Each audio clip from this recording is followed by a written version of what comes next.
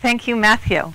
And thank you, Emil. Thank you, both of you, for organizing this, for everyone who's spoken today, for the amazing performance last night. This was just a very exciting week here at the University of Rochester, and it is a pleasure and a privilege to be a part of it. So, we have heard so far about Salome in biblical times, in the full sweep of Western art, in English and French literature. And I'm going to be talking about Salome at the theater, Oscar Wilde in Paris and London. The story of Salome at the theater is a story of celebrity, censorship, sex, scandal, and many other things as well. Oscar Wilde wrote the play in French in 1891. He hoped to premiere it in London with the great actress Sarah Bernhardt in the title role in 1892. But the Lord Chamberlain's office prohibited its production and prevented the British opening night. Wilde published the play in French in 1893, and it came out in an English translation with Aubrey Beardsley's controversial black and white illustrations in 1894. Here is the title page of the first French edition, with a somewhat sinister mermaid and the slogan, This fish is not like the others, in Latin around the edge a warning label that the publisher added to the works of all his decadent authors. I'm not sure actually whether he meant to warn or entice, one way or the other. And here you can see the frontispiece and the title page of the first English translation with Aubrey Beardsley's famous or infamous illustrations, depending on your point of view. And here, two images that may have more relevance for us the presentation of Iokanaan's dead head at the end of that long black arm, which is the Beardsley equivalent of the poster image that you've been seeing from Russell's graphic novel.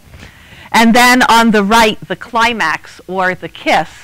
This is the simplified book version of the more complex studio magazine original that you saw in Grace's talk this morning the image that prompted Wilde to send Beardsley a dedicated copy of the unillustrated French version with the note to Beardsley, the only one who can see the dance of the seven veils.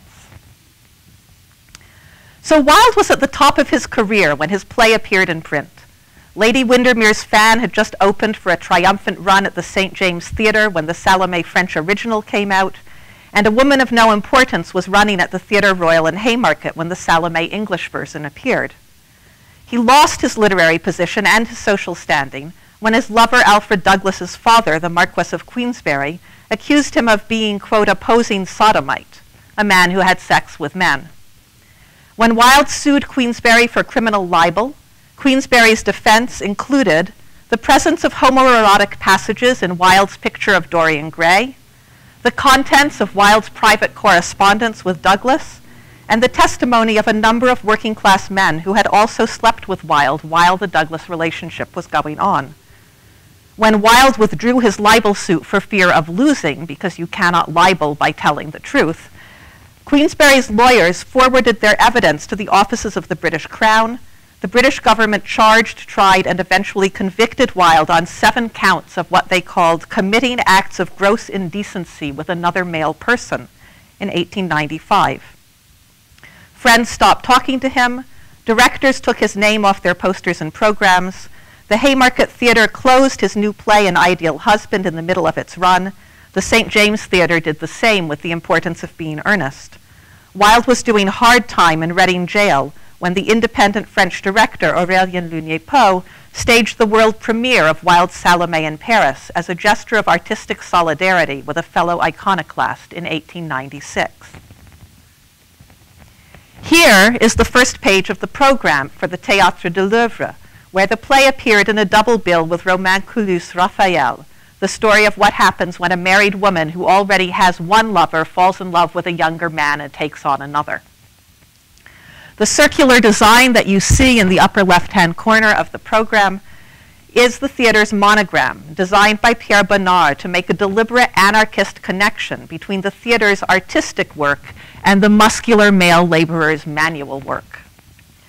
Toulouse-Lautrec contributed a lithograph of Oscar Wilde standing in front of the British Houses of Parliament, which you see here, An ironic image, given that Wilde was actually in a British prison when his play premiered. So, whether French and British reporters, literary critics, and theater reviewers were covering the cancelled British production, the published French play, or the Paris world premiere, they consistently linked their coverage to the question of how to understand the relationship between France and England. And for the rest of my paper today, I'd like to show you how the continuing controversies over the play, its publication, and its performance also became controversies over the literary, political, and sexual culture of these two competing countries. Let's start with the projected London premiere starring Sarah Bernhardt. Bernhardt was already an international superstar when Wilde was writing his French play. Although she always acted in French, audiences responded to her gestures as well as her words, she established a successful career not only in France, but also in a long list of other countries, including England, the United States, and Canada. London audiences especially loved her for her performances in tragic roles such as Jean Racine's Phèdre, Meilhac and Halévy's Gilberte in Frou Frou, Alexandre Dumas' fils Marguerite Gautier in La Dame aux Camélias, and Victorien Sardou's exotic Russian princess Fedora, Byzantine Empress Theodora, and eventual operatic heroine La Tosca. And here she is starring as Victorien Sardou's Cleopatra in 1891, just one year before she agreed to star in Wilde's Salome. French poet Pierre Louÿs, who attended the rehearsals in London, remembered her performance this way. What a marvelous Salome Madame Bernhardt was how the melodious inflections of her stature and her voice adjusted to the cruel and amorous phantom that Monsieur Wilde had evoked in its mysterious attractiveness. How well she performed Wilde's rich, insinuating, singing prose. The British Lord Chamberlain's decision to prohibit the Wilde Bernhardt production made front page headlines in Paris right away. And here is the first page of the Daily Gaulois, where you see the title of the first French article about the issue, about halfway down in the second column from the right. The Salome of Oscar Wilde, conversation with the author from our ordinary correspondent, Maurice Sisley.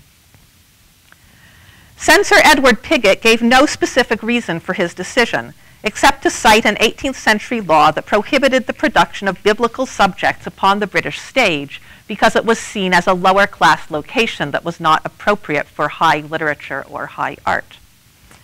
Many British reporters and reviewers seem to have accepted this reasoning at face value, but most French reporters and reviewers, by contrast, immediately started speculating that Pigott's decision really had something to do with the play's potent mixture of sex and death, especially the murderous sexuality of Salome herself, which we've heard a lot about today already. And as it happens, they were absolutely right. We know from a letter that Pigott wrote his friend Spencer Ponsonby separately. He said, I must send you for your private edification and amusement this manuscript of a one act piece written by Oscar Wilde. It is a miracle of impudence. Salome's love turns to fury because John will not let her kiss him in the mouth and in the last scene, where she brings in his head, if you please, on a charger, she does kiss him out in the mouth in a paroxysm of sexual despair. The piece is written in French, half biblical, half pornographic. Imagine the average British public's reception of it. Wilde gave two public interviews about the censor's decision, and this is where questions of sexuality start to tangle up with questions of nationality. If the censure refuses Salome, Wilde told the Pall Mall budget while the decision was still under review, I shall leave England and settle in France, where I will take out letters of naturalization. I will not consent to call myself a citizen of a country that shows such narrow mindedness in its artistic judgments. My decision is firm, he repeated to Maurice Sisley in the article that you see on the screen here. Because it is impossible to perform a work of art in England I am going to enter a new country that I have loved for a long time. There is only one Paris, you see, and Paris is in France. It is the city of artists. I would even say that it is the artistic city. When Sisley asked Wilde whether he had a bad opinion of his fellow countrymen, Wilde responded by denying his affiliation with the English altogether. Oh, They have practical qualities, I do not deny it, he said, but in my situation as an artist, those are not the qualities that I admire most. Furthermore, even at this very moment that I am speaking to you, I am not English. I am still Irish, which is not at all the same thing. And he said that some of his best friends were English, but he did not like the English as a race. The scandal around Salome's censorship did not disappear with the prohibition of the play. When Wilde published the play in book form, reviewers in France and England almost always opened their articles by recalling the original incident, reviewing the reasoning behind the censorship decision, and making some new comparative comment on French and British culture. Here you see the faded lavender cover of that original French edition with Salome's name almost rubbed out, but originally across the front in gilt lettering. Wilde chose the color combination himself. He called it Tyrian purple and fading silver, and he referred it to it often when he sent dedicated copies of the book to his friends.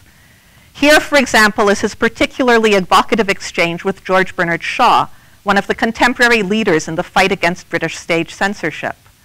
My dear Shaw, Wilde wrote him in February 1893, you have written well and wisely and with sound wit on the ridiculous institution of a stage censorship. England is the land of intellectual fogs, but you have done much to clear the air. We are both Gaelic, and I like to think that we are friends. For these and many other reasons, Salome presents herself to you in purple raiment. Notice how Wilde separates himself from the English again by stressing that he and Shaw are both Gaelic, Irish. And notice also how he refers to the book version of the play in the feminine person, as if Salome the book and Salome the character in the book were one and the same. When back to tell Wilde that the book had not yet arrived, he expanded on the identification between the play and its title character by describing Salome in vivid terms as a victim of state violence, perhaps state sexual violence. Salome is still wandering in her purple raiment in search of me, he told Wilde, and I expect her to arrive a perfect outcast, branded with inky stamps, bruised by flinging from hard hands into red prison vans, stuffed and contaminated. Public debate about the play that appeared in the French and British press continued the censorship controversy by consistently reminding readers that the new book was the print version of a play that had been refused permission to perform.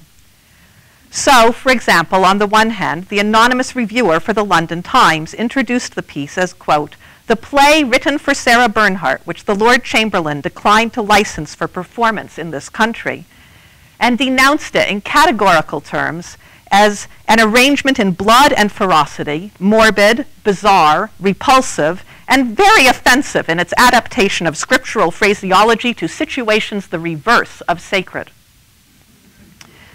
It is not ill suited to some of the less attractive phases of Madame Bernhardt's dramatic genius, the reviewer continued, and it is vigorously written in some parts, but we must say that the opening scene reads to us very like a page from one of Ollendorff's exercises. With this dismissive final phrase, the critic relegated the play's sophisticated series of identifications between the silver moon and Salome to the status of so many children's exercises in elementary French grammar. Among the play's French defenders, by contrast, they mentioned the censorship decision not to approve it, but to contest it. And so, for example, you have Henri de Regnier blaming the censorship on what he called an excess of British modesty, pudeur, and suggesting the superiority of France over England by reminding the readers of the Événement politique et littéraire that Monsieur Wilde had written the play in French during one of his stays in Paris, and it is in Paris that he recently published it. Characterizing the play in positive terms as a work of extreme charm, he praised it for an Yeah, well. his words, not mine. And these are more of his words an abundant and color filled lyricism, a manner of bidding highly on hyperbole and insisting on it with the caress of successive images, little phrases that have the soft rhythm of a beating fan, a very unexpected inventiveness in the details, and a style perhaps more fragrance than figure that evaporates above the idea like the spirals of smoke mounting from an incense burner. Among the play's English defenders, Alfred Douglas put it this way in an especially long, detailed, and vigorous article for the Oxford undergraduate magazine, The Spirit Lamp. I suppose the play is unhealthy, morbid, unwholesome, and un-English, he wrote. Ça va sans dire. That goes without saying. It is certainly un-English because it is written in French, and therefore unwholesome to the average Englishman who can't digest French. It is probably morbid and unhealthy, for there is no representation of quiet domestic life. Nobody. Nobody slaps anybody else on the back. There is not a single reference to roast beef from one end of the dialogue to the other. And although it is true that there is a reference to Christianity, there are no muscular Christians. Anyone, therefore, who suffers from that most appalling and widespread of diseases which takes the form of a morbid desire for health had better avoid and flee from Salome. But the less violently and aggressively healthy, those who are healthy to live and do not live to be healthy, will find in Mr. Oscar Wilde's tragedy the beauty of a perfect work of art, a joy forever, ambrosia to feed their souls with the honey of sweet, bitter thoughts. So note how Douglas combines his critique of British censorship with a comprehensive critique of British culture that includes language, cuisine, family life, norms of masculinity, and forms of Christianity, all at the same time. Of course, and Douglas's own refusal to stick to English, live a quiet domestic life, demonstrate a hearty form of backslapping masculine behavior, or bow to the tenets of the muscular Christian religion would ultimately blow up into a Victorian sexual scandal that would make the initial censorship scandal over Salome seem small.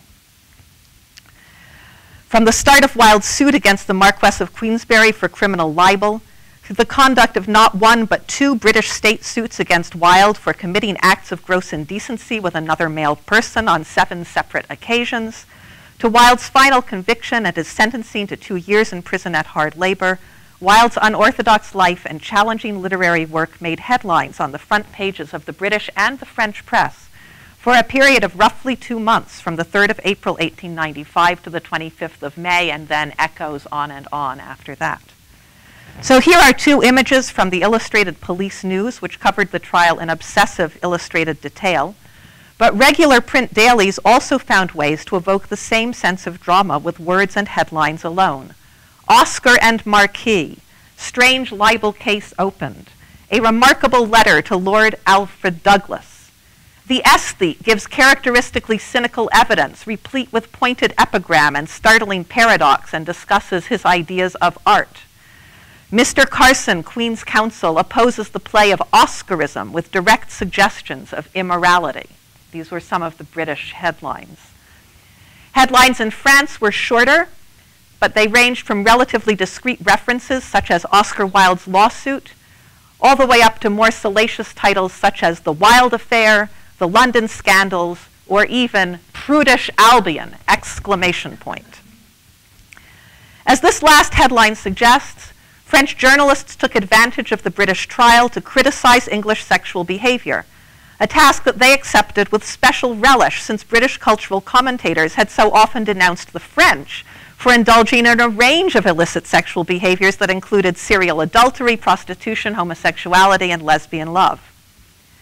Our neighbors to the west must be awfully unhappy nowadays, wrote Jacques Sincère in the conservative Daily Figaro, since they've been in the habit of calling Paris Babylon, Sodom, Gomorrah, Lesbos, and God knows what else. Even though writers such as Sincère and others criticized British hypocrisy, however, they still found ways to make it clear that they had little sympathy for Wilde himself. The vast majority of both the British and the French articles stressed their support for various forms of heterosexual desire and condemned Wilde's homosexual behavior out of hand. When symbolist poet Stuart Merrill tried to begin an international campaign to petition Queen Victoria for Wilde's release from prison on humanitarian grounds, most of the prominent writers that he invited to sign either ignored his letter or rejected it outright. So this is the context in which Antoine Lugné-Poe and his colleagues decided to premiere Salome in Paris. Lugné-Poe was an avant-garde theater director whose independent Théâtre de l'Œuvre had close literary ties with the French symbolist movement and close political sympathies with the French anarchist movement. His company was especially well known for its Paris premieres of controversial new plays by challenging foreign authors, such as the Norwegian Henrik Ibsen, the Swedish August Strindberg, and the Belgian Maurice Maeterlinck. And here is Henri Vuillard's 1891 image of Lugné-Poe, sorry, Edouard Vuillard, which you can actually visit right across town at the Memorial Art Gallery. We have it in our museum, and it is an amazing little piece of art. And here is the list of plays that Lugné-Poe originally had in mind for his theater's third season in 1895-1896. Note that Wilde's Salome is not there yet. That is a measure of how suddenly the production came together for just one night in response to current events after the theatrical season had already started. Lugné-Poe put it this way in his memoirs Wilde's fall was atrocious. The scandal was such that English society hid its eyes and stopped its ears after his conviction. But in Paris, Wilde remained esteemed. Because no one had decided to take the action of grouping those who loved the artist into a movement of pity, I bypassed all preliminary authorization and produced Salome on the 11th of February, 1896, even though we also were menaced with lawsuits, commercial this time, and on the soil of France. Although this is a somewhat self-promoting memory, Stuart Merrill's petition campaign and a number of other French literary figures' editorials in favor of Wilde preceded Lugné-Poe's premiere by more than six months and some of Wilde's closest French and British friends persistently kept in touch with him while he was in jail. It is nevertheless certainly true both that Lugné-Poe took a commercial risk in premiering the play and that the press responded to it as a new statement of sympathy for Wilde and his work.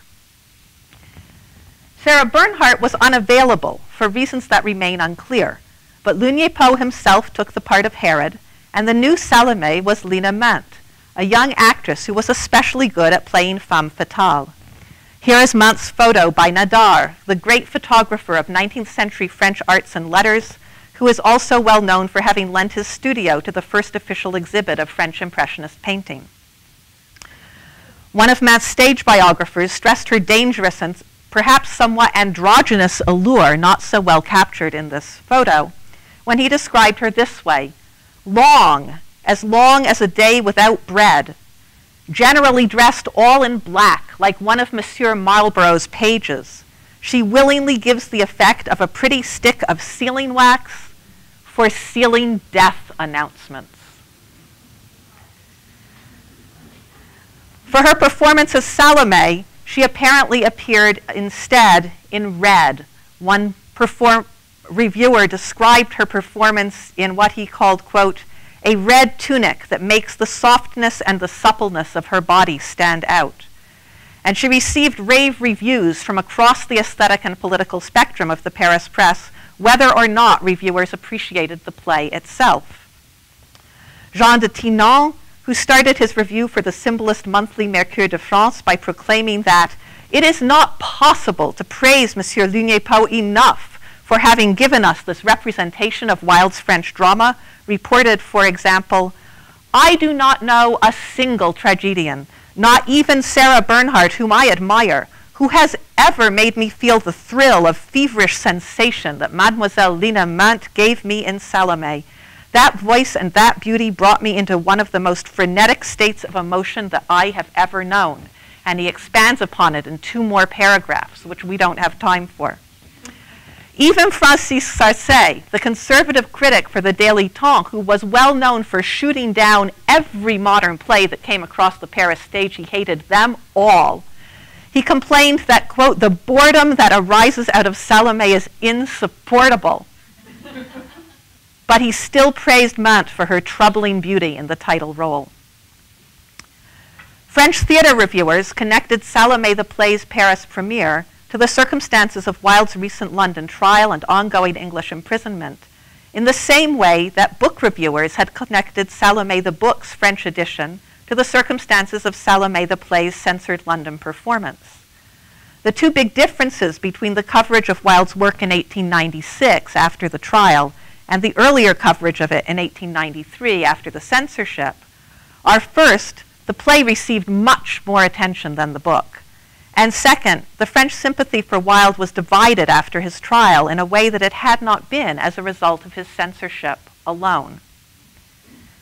On the one hand, for example, you have the case of Henry Bauer, who had consistently supported Wilde and his work before, during, and after his trial with articles for the Echo de Paris that condemned the censorship of Salome on the London stage, wrote in Wilde's defense during his trial, criticized Wilde's treatment in prison, and urged his fellow writers to support Stuart Merrill's petition to Queen Victoria for his release.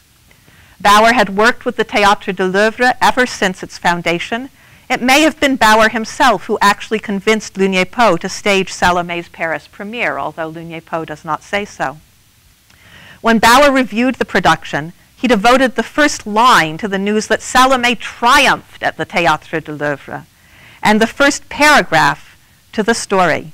Salome, he explained, is the one act play in French prose by the English poet Oscar Wilde, who has been condemned to two years of forced labor by a judgment that outrages common sense and humanity. The readers who honor me with a faithful attention will understand my joy at this evening. I am truly happy and a bit proud of the event. Thus, the work, which, like all those of the author, has been struck from the posters and prohibited from the stages of England, has received an asylum to the glory of Paris. On the other end, at the opposite side, you have the case of Camille Le who devoted the first paragraph of his review in Le Siècle to the claim that, quote, the idea of representing Salome, the one act play in French prose by Monsieur Oscar Wilde, on a Parisian stage so soon after a trial that was as repugnant as it was resounding, will doubtless seem fairly debatable.